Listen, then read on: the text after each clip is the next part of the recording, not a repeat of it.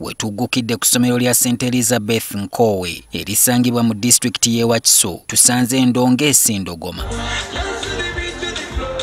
ogubadde babadde bayizi baabwe abaakola ebigezo bya siniya ey'okuna okudda nga bangi babiyise. Abayizi bino olubagudde mu kutu nabo bazambalidde ku migongo nga nswa okujja okukakasa ebyogerwa.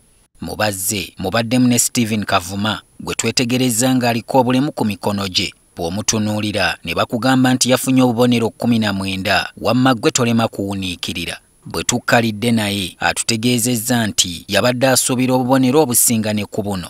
Kale uzi kasabyazi sose nemba omunakuwavu kubanga kale ze nali nsuubira okufunaye size nafunye gye nvuddewe aleetera omuntu okwoza ku mmunye kubanga olwali okuzaalibwa mu maaki wa 2022 kitaawe n'ayawukana ne nnyina ng'amunenya okuzaala omwana aliko obulemu kavuma n'okwogera yali tayogera era nnyina ng'ayambibwako jjajjaawe baakola ekisoboka okumutwala afune obujjanjabi. Olaba no olulimi lwange terukaki teruvaawo nti tukali luli bwamu bantwala okunnongoosa.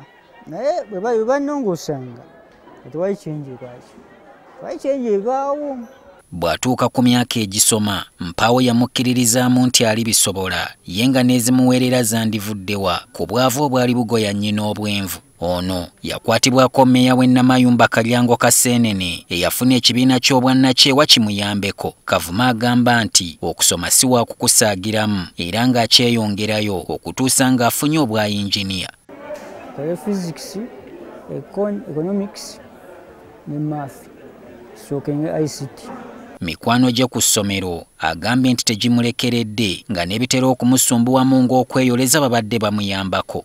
Waba alina obuzibu tumuyamba tuba tulina obuzibu tugendayo n'atuyamba kwegana ne tusoma nga tweyagala wamu naye. Abasomesa be bo bamulabamu ebiseera eby'omu maaso ebitangaavu. Yayagala nga bamutwale nga banne.